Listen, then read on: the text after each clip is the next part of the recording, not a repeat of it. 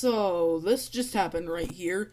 I was playing Bazooka Boy, and just as my second try on level 48, my tower had suddenly collapsed, and I haven't shot any bullets yet. That weird?